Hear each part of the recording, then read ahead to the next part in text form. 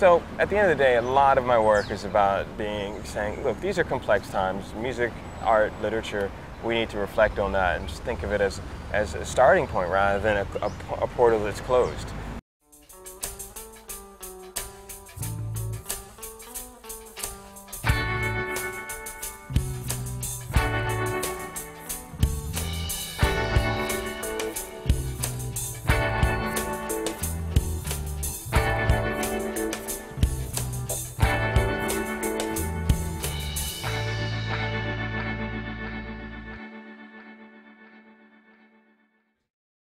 Joining us today, very, very excited to have Paul Miller, AKA DJ Spooky. Hey, what's up? Uh, you know, everyone wants to know your name. I didn't do the background, the, res- the required background check on you. How did who gave you the handle, DJ well, Spooky? yeah, you know, my name's Paul Miller, and one of the things that always comes to mind when I look at my nickname is that it was a little bit of a college situation where I thought that I would probably just do this as a fun little intervention while I was in school look at it as a kind of, um, you know, just fun college situation that spilled over to real life and then kept going. Um, so, yeah, DJ Spooky is basically meant to be when you press play and there's nobody there. It's like a sense of irony, a sense of um, just uh, how people think of when you have recorded sound. You know, it's just one of those things where we live in an era where recordings have defined modern life, and that's you know the real deal. I mean, you press play on anything, YouTube, Turntable.fm, Spotify. You're dealing with the world immersed in recording. So the Germans would call that unheimlich or uncanny. You know, Sigmund Freud liked to call the idea of the disembodied voice or the right. idea of a displaced memory. Um, at the same time, I majored in philosophy and French literature. So to make a long story short, it was kind of a sense of humor to just condense a lot of what I just said into one word, DJ Spooky. Right. You know, too. You know, I guess I was thinking this morning, Paul, at what point in the time continuum did the DJ really take over the, the live music scene? Because, you know, you, you go to you go to culture events now, the DJ is more prominent than bands. You know? Yeah. well, yeah, I'd say in the 90s there was a lot of transition because you, you had two things, really big things happen. One, uh, memory became cheaper, and so you could pack a lot more material and information and data into the everyday objects.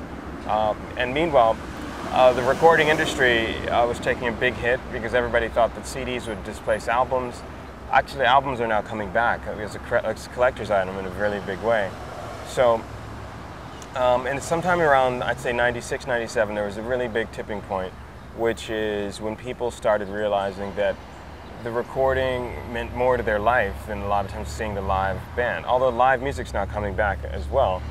But in the 90s, there was a kind of quirky transition because pop culture machinery, the 20th century's idea of the, the, you know, the manufacture of pop, all of that, I just think it became democratized because more and more people had the tools to be able to dig into everything, make their own version of things, uh, edit, transform, and then above all, reappropriate, you know, anything around them. So yeah, I'd say 97. Uh, there was a couple seminal moments. Yeah, the Big Bang is 97. Yeah. Okay. You know, and, and I also think that the, the labels failed to address this. They were still stuck in this kind of these, these lumbering dinosaurs holding on to these acts that were baby boomer and X generation acts they could continually milk catalog out of. Yeah. Well, I mean, the archive that we live in right now in terms of 20th, first century, when I say we live in the archive, if you look at cloud computing, if you look at all of the things that um, signify um, almost everything that we look at now with modern wireless technology, you're always accessing the, the, the data that defines life for right. you know in our information economy. So you're everything from your Facebook to your Spotify, whatever you want to call it, your taste, your preferences, the things that define many of the selections you do, Amazon.com profile, you name it those are things that are archival, you know. So there, I, I, love the idea of the DJ as someone that's not just playing records, but someone who's really uh, possessed by this this idea of archive fever. So when I went to Antarctica, one of the things I was looking at was that the entire continent is a kind of archive uh, because of the millions of years of sediment and dust that have like gotten caught up in the ice. Um, and at the same time, uh, what that meant in terms of actually saying that we live in a world of interconnected, complex systems. You know. Well, you know, Malcolm Gladwell says says you know the, the, the new heroes, the new pop heroes, are cultural connectors. They're they're taking all of this data, and they're connecting people to it who are afraid or don't have the time to do it themselves. They can't sort it out. You know, we look at the environment. We're in a really noisy environment, and you go to the South Pole. It's just the opposite, but it has a noise on a different level. Yeah, well, I'm a big fan of John Cage and the way that he opened up the notion that noise and complexity and the acceptance of that was part of the composition.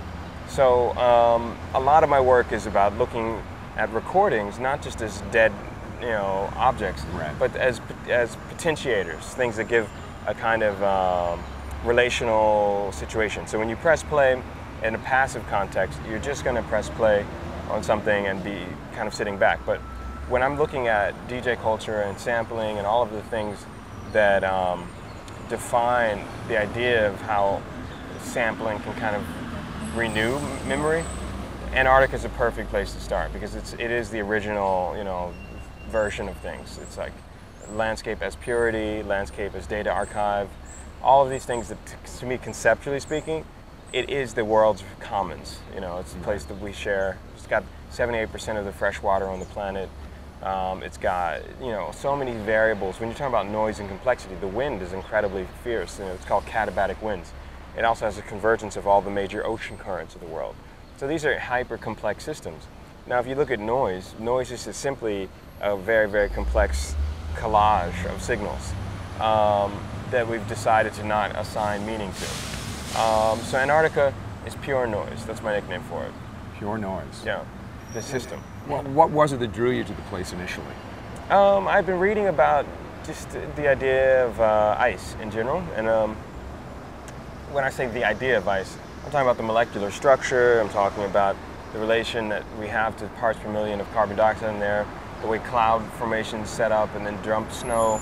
Uh, snow itself, uh, for many obvious reasons with climate change, um, some places are experiencing floods because there's record melt-offs of the snow. Like a lot of my friends in Boulder, Colorado, for example, their rivers are swelling. Meanwhile, other places, weather patterns have shifted quite a bit. So how do we think about that as this notion of nature as system? And snowflakes are really great metaphors for that because they're every every snowflake is essentially a hexagonal structure. And if you kind of dig into the molecular structure, you can see the way hexagons will keep kind of uh, transforming uh, just due to temperature differentials. And uh, I think it's incredible so that you have this mathematics of nature and you have this intuitive relationship for that as a composer. So I'm really interested in that, and I think there's some great ways to think of music as a, as a mirror to hold up to society um, and to give people a sense of potential, possibility, you know, that the, world's, the world can be a different place. You also, what I thought was very clever is, is you use the African American experience and how they define ice and how mm-hmm. they use that in, in their nomenclature to impact the message, the phrase, the, the, the, you know objectifying a DJ, you know, as his name is a hard name. Yeah, yeah. Well, it's a funny thing because I, Ice, if you look at so many of the nicknames that people have, Ice T, Ice Cube, Vanilla Ice, uh, the list goes on. Yeah, the idea of the ice grill. You know, the metaphor of coldness in our, in our society is really, it's about the, the surface, you know, right. giving people a sense of being a cool, reflective, calm, even while being a really tense or a very hardcore person. Uh, when I say hardcore, you know, that's in our society that always implies the extreme. Um, so if you look back at the, the notion of cool versus cold, right? I mean, they are different metaphors. All right, birth of the cool. I'll give you a couple other names, you know, that, you know, blues, you know, you can think of this notion of the coolness of an object or something, but I was comparing that to Marshall McLuhan, right. and this idea of hot versus cool media. So it's like the way a lecture will create more of a passive response, and McLuhan liked to call that a cool medium versus a hot medium uh, that you have to be more involved with. So in terms of Antarctica, looking at the McLuhan, this, by the way, this year is the centennial of Marshall McLuhan's, who coined the term the global village, right. and who also media created the massage. Yeah, the media is the massage. Um, so the environment is the massage right now. Right. and our media environment versus the natural environment. I'm really fascinated. How do you kind of navigate between the two and start thinking of the role of the artist or the writer or the musician or the creative and saying that uh, we are catalyzers. we can kind of Well, again, your you know. cultural connectors, to go back to Gladwell's Yeah. point. And you know, it's interesting, I was reading a story how the average suburban kid doesn't take his shoes off and run in his grass in his front yard.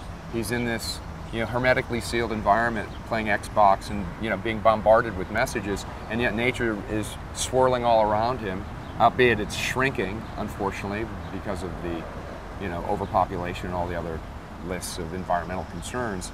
But just the simple notion that you could take your shoes off and walk in your backyard or walk around your neighborhood and engage in nature and disengage from the electronic overflow or excess. Yeah, no, all of the above.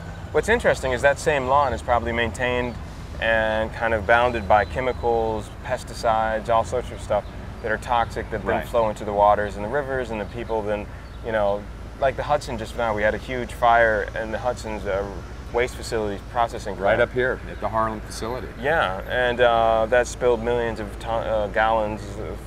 And it was a uh, minor story, Yeah, which is very sad. and the particulate from that actually is less than the particulate uh, that comes off of a really intense rain or storm. Right. And so, to make long story short, when you're saying a kid will, will not take their shoes off in the grass, they're amusingly enough with the amount of pesticides that, that go into the front lawn of Maybe most, healthier not but you know, this, Yeah. this what, as Thoreau said, get back to nature.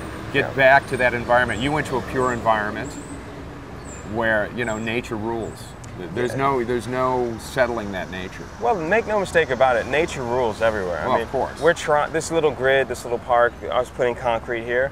If we don't constantly renew and change it, nature will reclaim it within a couple Oh, of years. Absolutely. Um, we can't fight it. We're part of nature, and I don't think we should. Um, one of the big inspirations for my whole project of going to Antarctica is I, it's a funny thing. I went to Bowdoin College in Maine, and we had this idea of the New England transcendentalists hanging over us. You know, Long, uh, Longfellow, uh, Walt Whitman, uh, Emerson, Thoreau, uh, and so on. And I'm a huge fan of Emerson. I'm a huge fan of, of course, the Walden Pond, stuff like that. You know, just there's there was a kind of a movement at the beginning of the American project, the American nation state, where it was like meant to be a utopian space, but of course founded on slavery and other terrible, horrible things. But Wiping out indigenous people. yeah, but uh, some of the nature issues of actually trying to to deflect the worst aspects of industrialization. Right. You know, the satanic mills that Blake was talking about were, you know, they were popping up in the U.S., but we had just bigger rivers and bigger spaces. And Thoreau and Emerson and Walt, you know, these guys were trying to figure it out very early. So anyway, that that influenced my composition a lot. Teddy Roosevelt was a great uh, protector of the environment. Yeah, absolutely. It doesn't get a lot. You know, New York State has the largest state park of any of the 50 states, which kind of blew my mind. Yeah, and there's also like major colonialists. And if you look at the American Museum of Natural History, there's a, is a, statue that turns my stomach every time I see it. It's, it's Roosevelt with an African American slave on one hand and an Indian on the, on the other. You see that? It's, he's riding a Oh, horse. Yeah. So it's a kind of a quirky thing because some people do good things, some people do bad things. But at the end of the day, nature is the system that we are involved in. And that's, I think, some of the Western model of saying that we're divorced from nature, this idea of applying human rationality to you know, the grid, the logic of putting everything into containable boxes. Compartmentalize it. That's Yeah. what doesn't work. Yeah. so my music uh, that I wrote in Antarctica was a kind of response to that. And these are compositions, uh, and the book that I did, the Book of Ice, is a, con- a sort of a distillation of some of the compositions and graphic design that I did. Well, I was going to say it's a complete multimedia experience, as your work is in general. I mean, you never really look at it, again, as a compartmentalized. You look at it as a very organic whole, Yeah. So, very wide view. and I try. I mean, these are these are complex times, and there's a lot of noise at every level, all puns intended. You know, noise in the system of politics and the system of the synchronizing of the lights here, of the rivers, of the air currents. So I think a composer or an artist should really look at the world as their palette. And some of my favorite, you know, artists, people like Jackson Pollock or even Andy Warhol, their environment, you know, influenced the work at every level. But my environment now is hyper globalization, digital aesthetics, you know, network systems, Wi-Fi. Yeah. Well, You know. it was funny. I, th- I thought the one word that really I think is the buzzword it's always been for me for the last three or four years is this convergence. Yeah. It's, it's we are in the time of convergence on so many levels. But you know, the one of the person, the composer who really kind of championed that term was Wagner. He had a term called Gesamtkunstwerk. Right. But Duke Ellington was one of my favorite conceptualists And as his street is Yeah. right behind us. Duke, Ellington, Street. Boulevard. Yeah, Boulevard. Lived around the corner. And um, he he had a series of projects called A Tone Poem for Harlem. Which was meant to be kind of a conceptual piece where he wanted to define the sound of Harlem in composition. So there's different uh, angles from both the African American and the European American. Uh, the fusion, I think, that ends up happening. America is basically a huge collision between Africa and Europe, you know, with a large dash of Asia that, that got kind of thrown in in the mix as well. So we're a hybrid culture, and we always have been, but we just need to admit it. Uh, this, the compositions I wrote in Antarctica are, are both based on European, you know, classical music tuning systems, meets hip hop, meets the, the, the mathematics of nature.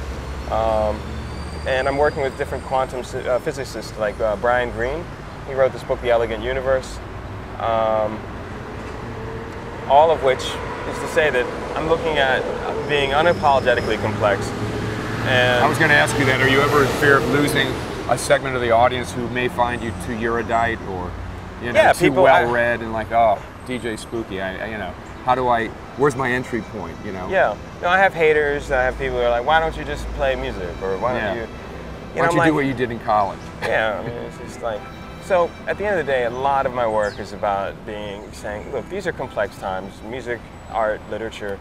We need to reflect on that and just think of it as as a starting point rather than a, a, a portal that's closed. Um, so I use art, the arts, math, science, you name it, to kind of say these are um, experiences. You know, it's not about a passive situation. And taking a studio, going to several of the main ice fields in Antarctica, or going recently, I went to the high Arctic near the North Pole. Um, you know, just just to say, you know, why not? Um, the problem is, very few people in America travel outside the U.S. Very small amount have passports, and many people just travel to just within the 50 states and so on. Or they just travel within a 50 mile radius of their own home. You know, I had this conversation with Michael Franti a couple of years ago, and Yeah. I was I was saddened to hear that even U.S. senators don't have passports. Yeah, look at look at Sarah Palin. Um, it's you know it's extraordinary that they have no and you know part of the glory of Obama was he was going to try to institute this national pride and program. Maybe instead of going right into college you do a national service to the Peace Corps Doctor Without Borders and you really get kids into a global mindset. Yeah, and at the same time, don't forget Bush is from one of the wealthiest families in the U.S. And he had hit, before he was president, he only left the country twice. twice I know. Yeah. We, I, So- it, it's just extraordinary. But so how are those people going to tell you anything? how can they tell you about the international view But- not having the experience But at the same time, I think the artist can distill a lot of these experiences and bring it back for people. I mean, not everybody's going to be. In fact, I wouldn't want everyone to go to Antarctica. Uh, I was going to ask you about the expedition itself. You, you had to charter a Russian vessel when Yeah. you went to South, uh, the South Pole. I mean, the funding of all of this, did you were you met with a lot of resistance, or because of the status of your projects and the scale of your projects, was it easy to find uh, the money? No, I mean, I paid for it myself, and what I ended up doing was then viewing that as an investment in the project and kind of like, Recoup it over time. yeah, recoup it over time. Yeah. Yeah. And and when you went to when you approached the publishers, there, was there a hard sale on this, or did they get it? No, they really were into it, and um, it, everything's been pretty smooth sailing. The main resistance I had was from bureaucracies like the National Science Foundation. Really? Yeah, they they weren't keen on having the project, which is fine. So if I was an artist that was just going to humbly accept that, then I wouldn't be where I you know I am today. So I said, all right, screw that. We ended up finding a Russian vessel. Right. Uh, negotiated with them, chartered it, and had the project done. But a lot of people, I, this is my thing, is a lot of artists will be a little bit too dependent on uh, bureaucracies and getting getting grants and stuff. A little too beholden, so they really won't apply their full vision to a project. Yeah, and you have to be very creative with how you get funding and how you set things up. You don't want to be edited before you even start your project. Yeah. Yeah, I try as much as possible to say that you you have a sense of agency, and that's where my music, uh, you know, kind of points the way towards that. But again, it's it's unapologetically complex. It's not going to be for everybody. And you know, it was one of those things where I really, as much as humanly possible, wanted to figure out some ways of um, looking at the, the paradox of the urban. You know, what happens when you pull a composer who's based on, you know, the sound of the city, out of the city. You know, and then hit the reset button on the imagination. So hip hop, jazz, drum and bass, dubstep, rock, those are all musics of the city. And as a composer, going to the most extreme part of the planet and pulling out of everything, that's what I wanted to try and kind of. Do you really feel like you've grabbed it, Uh, or is it a work in progress? It's a work. Every well, life is a work in progress. There's no. It's never finished. Right. But I'm a big fan of saying, you know, let's see about uh, paradox. And I think eh, when I say paradox, like pulling someone from the heart of downtown New York and putting them in the middle of the South Pole, that's about as as paradoxical. that's something worthy of Plato, man. you know, Well, well, let's talk about the, the politics of that paradox. Here's a, here's a landmass that is isn't beholden to any large sovereign nation. No claim to it anyway. I guess maybe small uh, research facilities, but it's its own continent. Yeah, there's no government. There's no control mechanism except for the Antarctic Treaty that was signed in 1959, and whose signatories um, basically all agreed to not have a militarized situation in Antarctica. It's one of the most visionary documents of the mid 20th century, actually. Uh, that and the Universal Declaration of Human Rights. Um, you know, when you think about when people finally agree, hey, you know what, maybe it's not good to treat people horribly, and we can all sign this little document called the Declaration of Human Rights. You know, and maybe it's not so good to, you know, pollute the atmosphere and destroy and have nuclear radiation in your food and mercury in your fish. Maybe we can all sign a document saying, I don't even know what would be a, the equivalent of the Universal Declaration of Human Rights. I mean, you can look at Kyoto, what happened with that. It ain't happening, man. So we need to figure out something to give people. I think the environment, when you talk about the city, when you talk about nature, when you talk about Antarctica, these are all places where there, there's a lot of potential to do good and there's a lot of potential to do devastating harm. I think we've covered a lot today, Paul. I think right. we've got enough to Well. cut up. Easy. Paul Miller, Oh. DJ Spooky, The Book of Ice. Re- we didn't even talk about Rebirth of a Nation and all of your other Oh my projects. God. You Google the guy, Yeah. believe me. It'll keep you very busy. And, you know, just as a way of just representing a little sound. Oh, let's tell your your, your uh, URL. Okay. Uh, yeah, my website's djspooky.com. Has lots of mixes, downloadables, um, video clips, sound clips. Above all, um, a lot of the work I'm doing over the next couple months is going to be about remoteness and slowness. So I'm going to be spending a lot of time in the South Pacific, and um, you know, Vanuatu has been rated as one of the happiest places on Earth, and I'm really interested in seeing this idea of the, again a, a dialectical tension, you know, between the urban and the remote. There's Well- such a, an, interesting indigenous people who really they don't fit the stereotype of of the Samoans or Yeah, they're very, or- very unique, specific. very very unique. Yeah, yeah and that's a beautiful thing to see and, and to support. So Yeah. there we go, 2011. Thank y'all. All right. See you soon.